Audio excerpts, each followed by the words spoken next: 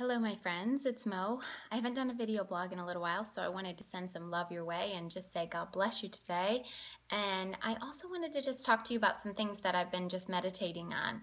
And um, really, it's just day to day life. It's just how do we learn to cast our cares on the Lord with our everyday life? We can say it all day long, oh, I trust God with this, but do we truly trust Him? Are we truly casting our cares on Him?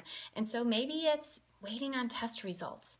Maybe it's the, you know, you're waiting to get that call from the doctor with some test results. That can be excruciating for our flesh, right? And so we need to just say, Lord, you already know what the answer to these results are. And Lord, I know that you're our healer. And whatever happens, Lord, I know you're with me. And so that's how we learn how to cast it. And then maybe it's your 16 year old daughter just got her license and not just her permit. And now she's able to get behind the wheel of a car without you in the car. And let me tell you, your control issues are kind of through the roof, right? Or maybe she even has her little brother in the car and you're like, "Oh my goodness, Lord, you have got to watch over them. Those are that's two of my children." You know, and and just learning how to just say, "You know what, God? You know every hair on their head."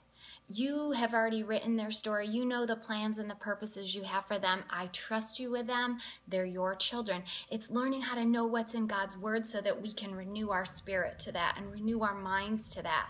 And so um, I think it's also maybe just saying, oh, I feel like I might need to take a part-time job to help out with finances and you know or you know, is it time to put the kids in school or am I to keep homeschooling or is it time for me to go to work or should I be home with my kids? And so many questions. Our day to day choices, our day to day decisions are what can steal so much of our joy if we do not bring Jesus into every little decision. And we're to trust him with everything. And I've said this before, he gets the the main vote, he gets the deciding vote, he gets to decide. And you need to let the Lord decide decide because he's going to decide anyway. So trust him in that.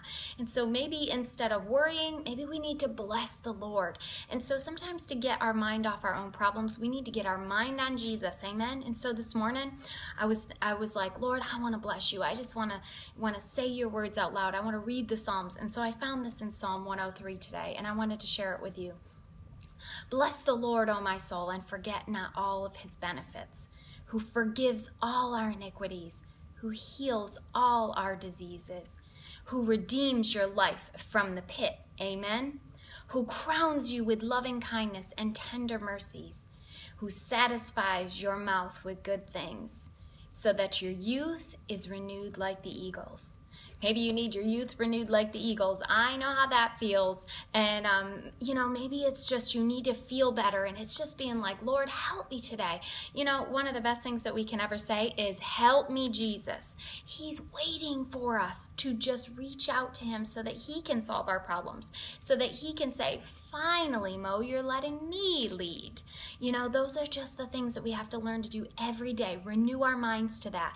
Teach ourselves, talk to ourselves, retrain our brains to know we need to do what this word says. And this word says to trust God, and I trust Him. And so today, I bless you. I pray that you have an amazing day. Bless your families. Bless your day. Amen.